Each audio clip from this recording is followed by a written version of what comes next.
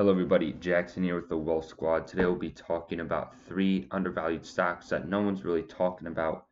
Uh, of course, these are the best investments to get into just because the more people that talk about a stock, generally the more crowded it is. And that's not a good thing, right? You don't want to get in a crowded trade.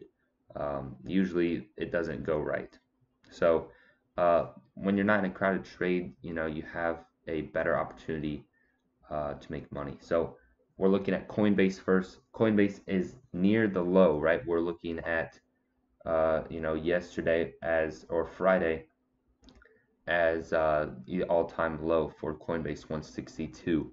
Right now we're at 190 uh, from that 162. Just crazy intraday price swings. Uh, so now we're at 190, still below 200. Um, just two months ago we were buying at 350 360 right? That's what the price was at.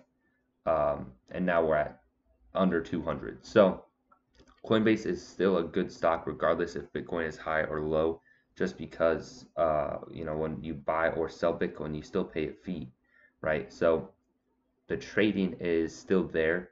It's not like everyone got bored of crypto. It's just that prices have gone down if anything, you know, the interest should be up just because more volatility is in crypto than, you know, before. So think of Coinbase as whatever crypto does, Coinbase is still making money. However, if Bitcoin goes up over time, so will Coinbase just because Coinbase follows the crypto trend. Um, so yeah, Coinbase near the all-time low, basically there, uh, a solid deal right now, especially under 200. Um, so yeah, consider Coinbase or put in your watches or whatever. Consider uh, adding Coinbase. So next, we're gonna be looking at Pinterest. Looking at the IPO price of 24. Right now we're at 29. Uh, so it's been what a year, two years, two almost yeah right two years um, obviously more than two years since Pinterest has gone public. Um, more like yeah, two years and a couple months. So, and the price is the same, right? That's that seems like a deal. Uh, at one point, Pinterest was you know ten dollars back in the very start of COVID, and at one point it sold for ninety, right? It was selling for ninety, and just at this price point of uh, what was it around seventy, where uh, PayPal was trying to buy Pinterest. So since that announcement, since even before the announcement, Pinterest is down 43% in 100 days, right? That's a good, good deal. That's a good discount for the same stock just 100 days uh, later. And you can see the earnings reports have very, very rarely failed us, right? We're seeing um, two out of the one, two, three, four, five, six, seven, eight, nine, 10, 11, soon to be 12 uh, when is this coming on? On February 3rd so we're in in two or three days right? February 3rd so watch out for that um, announcement. Usually you could see that volatility is high whenever earnings comes into play for Pinterest right? See right here jump from you know 29 to 33 10 percent. Uh, you can see here dropped a bunch from 25 to 20 or you can see it jumped, dropped, jumped a bunch, jumped another uh, more bunch, jumped some more, fell, fell, and uh, I guess this one, this last one didn't really react as much.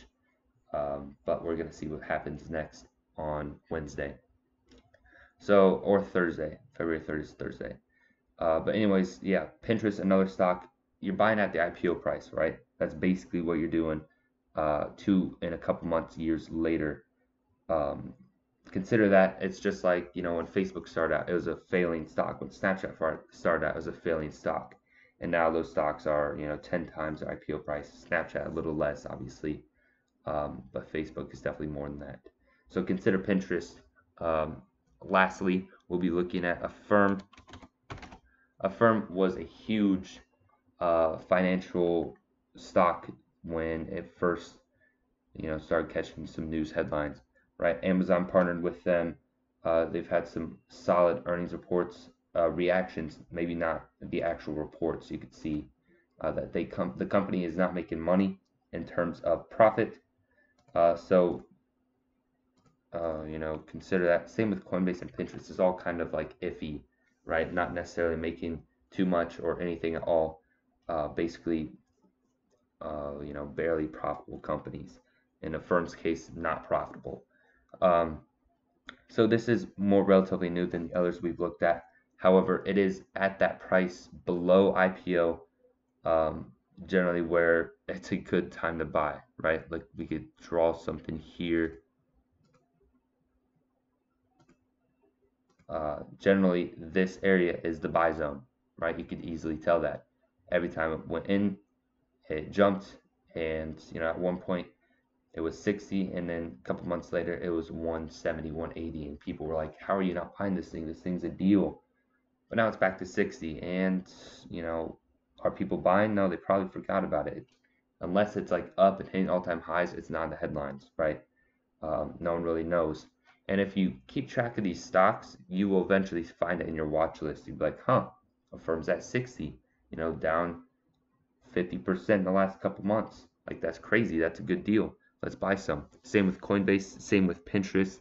It's all stocks that you're not going to really hear about, but you just have to add it to your watch list and hope you find it when you're looking.